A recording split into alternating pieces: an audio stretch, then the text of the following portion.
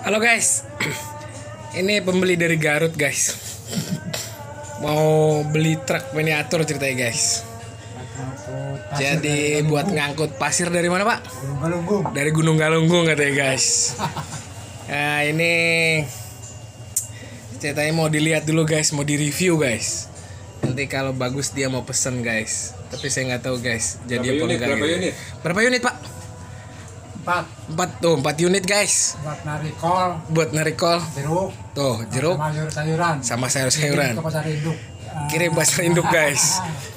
Empat unit itu sekitar setahun ya guys. Jadi sekitar setahun ini guys. Ini kotak perkakas ya guys. Ini bisa dibuka guys. Ah. Kotak P3-nya nggak ada nih. Nah ya itu yang belum itu. Itu kotak ketiganya udah bikin guys. Rencananya mau ditaruh di sini sebenarnya cuma eh, apa atau enggak di sini nih. Tapi saya belum saya cat waktu itu guys. Ini akinya, ini mesinnya ini bisa dibuka guys.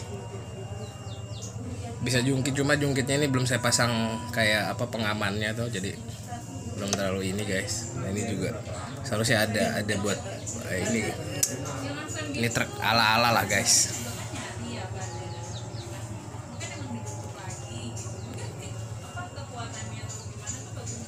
Itu.